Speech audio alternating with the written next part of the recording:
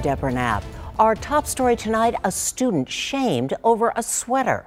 A single mom says a top school official embarrassed her teenage daughter just because her sweater was blue. That violates the dress code at Sul Ross Middle School.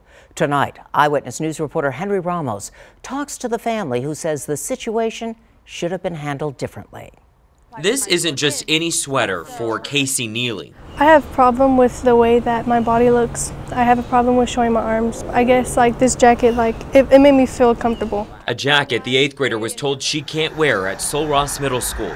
She's like crying. When I see her, she's got tears in her eyes. On Tuesday, Neely says a vice principal came up to her and shamed her in front of her friends, saying her blue sweater violated the dress code. She's like, well, it's for the safety of our other students and it will hinder her from learning. I said the color of her jacket's going to keep her from learning. Neely says she told the school official her mother couldn't afford a new jacket until Friday. She said, that's too bad. She was like, maybe if you keep asking your mom, eventually she'll cave and she'll buy you one. The single mother of four was waiting on her next paycheck.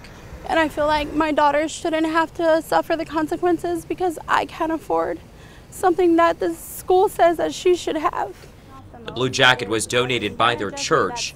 Now the family is left to buy one that is black, yellow, or green. They should be able to go to school to get an education because at the end of the day, it's grades that matter. People are going to look at your grades, they're not going to look at the clothes that you're wearing.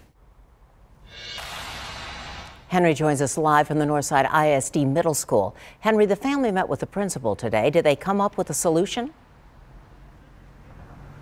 Deborah for now, the principal, actually gave Casey a jacket to wear until Friday. By the way, today was her first day back at school because she was so embarrassed she actually missed school yesterday. Deborah?